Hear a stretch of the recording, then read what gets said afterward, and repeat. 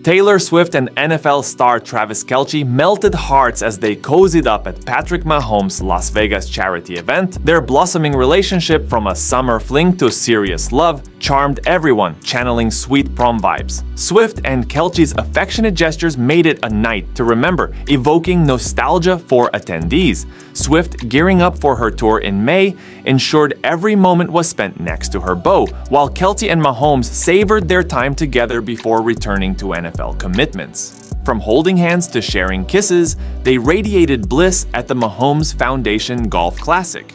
Kelce even stole the spotlight by offering four tickets to Swift's tour during the gala auction, referring to her as his significant other, capturing everyone's hearts with their love story. Meanwhile, Travis Kelce is making waves again, and this time, it's sending Swifties into a frenzy on social media.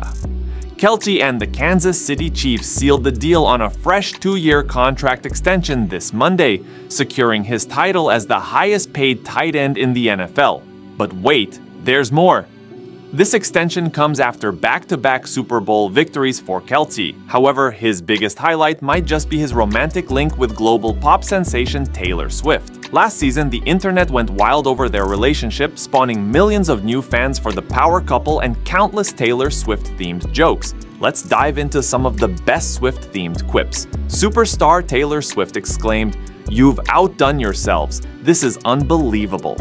Looks like it won't be such a cruel summer for Travis Kelce. Adding to the mix, teammate Patrick Mahomes chimed in, I told y'all I'll never let him leave. Congrats, my guy. Like and subscribe if you're true Swifty.